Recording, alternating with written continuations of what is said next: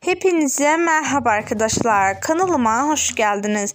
Bugün sizlere yepyeni bilgiler getirdim. Ağustos 2022'de nikah masasına oturan Demet Özdemir ile Oğuzhan Koç anlaşmalı boşanmak için düğmeye bastılar. Çiftten beklenen ortak açıklama geldi.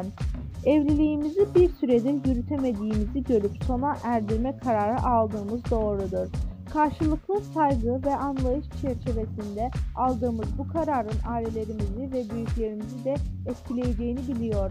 Bu onları üzmeden, yaratmadan bu süreci en hassas şekilde yürütmek için elimizden geleni yapıyoruz. Siz basın mensubu arkadaşlarımızın da bu sürece aynı hassasiyetle yaklaşmasını önlemek rica ediyorum.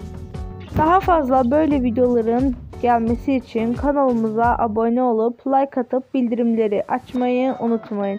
Şimdilik görüşmek üzere.